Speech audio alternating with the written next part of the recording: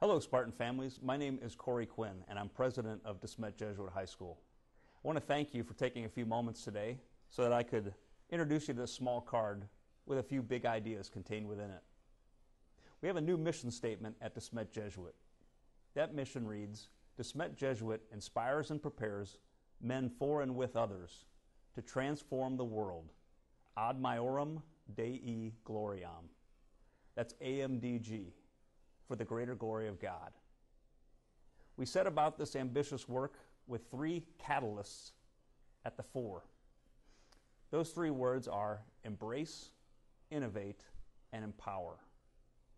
Very simply, we want to welcome your son with open arms.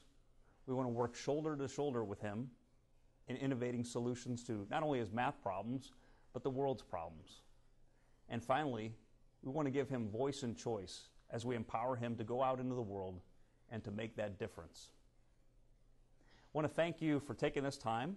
I want to urge you, as you get your hands on one of these cards, to share them. Share them with family, friends, anyone who you might encounter who you think might have an interest in this great mission.